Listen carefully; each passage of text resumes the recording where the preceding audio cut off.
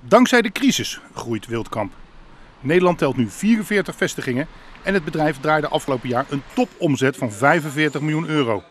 Nog even repareren in plaats van nieuw kopen. Dat is een deel van het succes. Een ander deel is gewoon harder werken.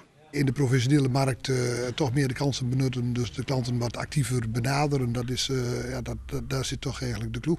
Uh, actiever benaderen, het zijn winkels. Ik bedoel, ga je ook echt naar de klanten toe als Wildkamp en zeggen van je hebt dit en dit nodig? Ja, wij hebben uh, een, diverse vertegenwoordigers die het Bultkamp concept eigenlijk uh, verkopen en aan de man brengen.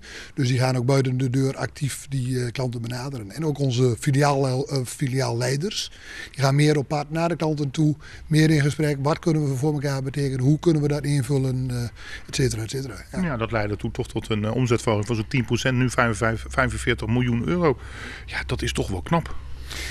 Uh, ja, dat, uh, dat, dat is knap natuurlijk. Inderdaad, 10% in deze tijd is, is knap. Maar dat, ja, dat, dat was toch goed mogelijk, ja. De internationalisering is opvallend genoeg begonnen in Bosnië. Waar een oud-werknemer graag wat voor Wildkamp wilde blijven doen. Dit jaar wordt in België een Wildkampwinkel geopend. De tijd is gekomen om over de grenzen te kijken.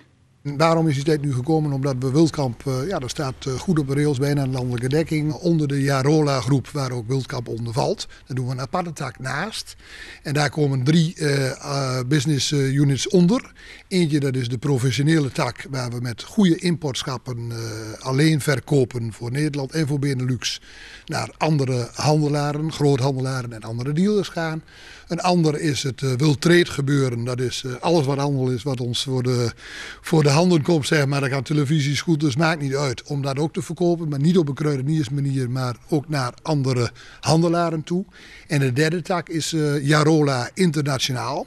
En dat is niet meer dan het, de Wildkamp, het Wildkamp concept, wat we in Nederland, waar we in Nederland succesvol in zijn, om dat neer te zetten in andere landen. U heeft al een beetje geoefend hoe je Wildkamp op het Italiaans of op zijn Spaans of zijn Duits zegt? Uh, Italiaans en Spaans nog niet helemaal, nee.